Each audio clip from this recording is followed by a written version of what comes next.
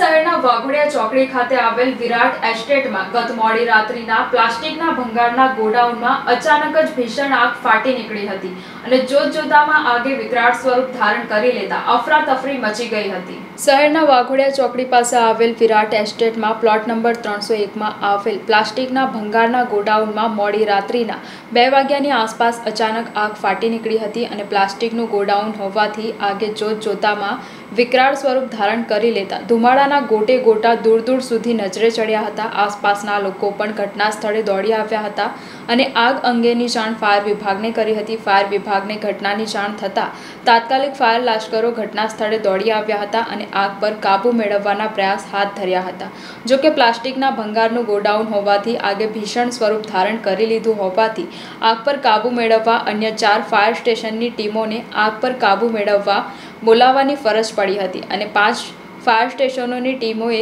છ કલાકની ભારે જહેમત બાદ આગ પર મહત્તમ કાબૂ મેળવાયો હતો અને હાલ પણ ફાયર લાશ્કરો સંપૂર્ણ આગ પર કાબૂ મેળવવાની કામગીરી કરી રહ્યા છે. આગની ઘટનામાં સદનસીબે કોઈ જાનહાનિ થઈ ન હતી, પરંતુ આગની ઘટનામાં ગોડાઉનમાં મોટા પ્રમાણમાં નુકસાન થયું હોવાનું જાણવા મળ્યું છે અને આગ કયા કારણોસર લાગી હતી તેનું કારણ હજુ અકબંધ છે.